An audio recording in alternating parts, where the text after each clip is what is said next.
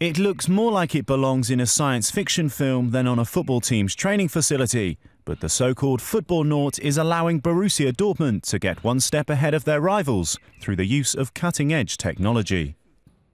Football is a four sided ball feeding machine erected on a 14 metre square grid, providing non stop footballs to a receiving player.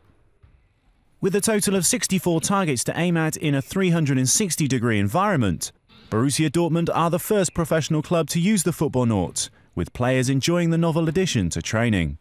One of the biggest clubs and the facilities is great, and just the repetition of ball you get and the technique and help your technique and your, your vision and opening up and looking for the target. Footbonaut has been in full use at Dortmund since March and has also been used for rehabilitation training for injured first team and youth team players.